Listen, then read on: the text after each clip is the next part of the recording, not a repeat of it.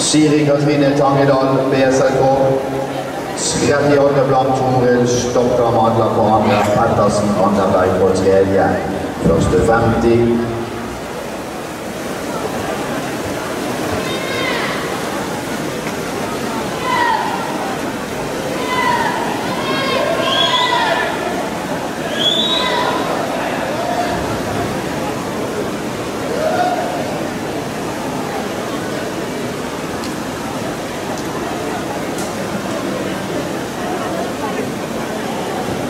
Flott gli ut i bane åtte. Her er Toril Tuestad Stokka Madla. Lav frekvens. Trekker eh, ut.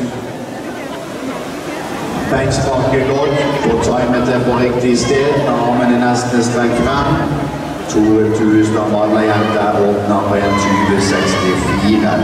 Tangedal BSL går på andre. Søndeland Sakker på tredje.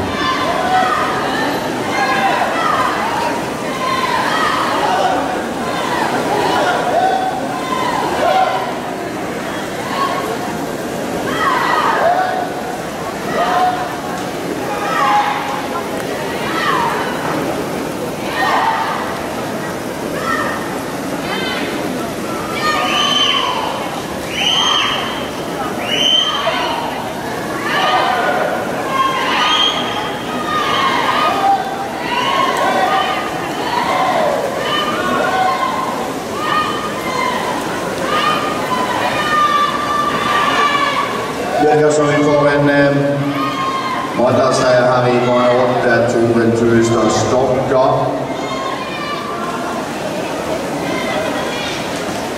Kommer så bra der. Anne Margrethe Søtland Sarpsborg i bane to.